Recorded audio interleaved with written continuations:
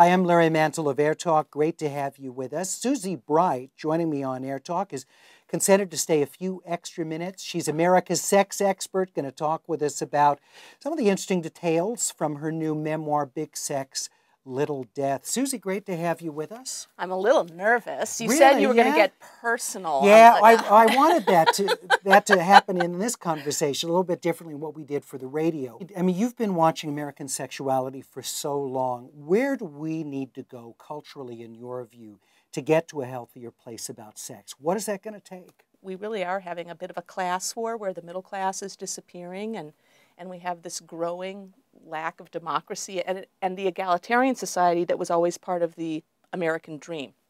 So, what does that do to sex? I think it takes that hyper titillation and that hysteria about there's a celebrity, she's on a pole, she's wearing a G string, somebody call her parents, do something. That, that hysteria about, you know, sort of sex panics.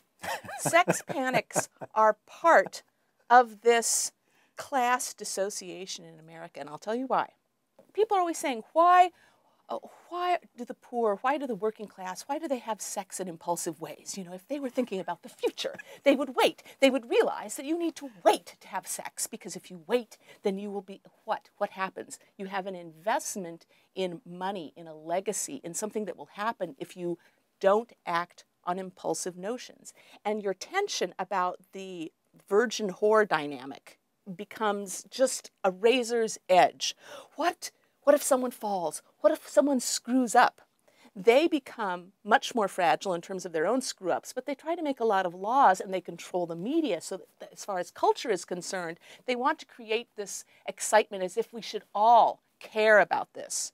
Do we really care if some actress has sex every night and, and is, you know, doing funny things with her pubic hair? Really, do you care? Is this what our lives are about? I mean, this this kind of, of prurient interest in celebrities has always been with us. That's true, but it's funny because I was thinking about this when Liz Taylor died because, you know, I was remembering, you know, she was one of the early gossip icons, and I was looking back at old books and magazines about that era. At the same time that you had that kind of interest in celebrities, you had all the hippies and the liberationists and the counterculture people who had a very pressing idea of their own, and they would say, you know, we really don't care about Liz and Dick because we're doing something else. Listen to this music. Let me put on this record.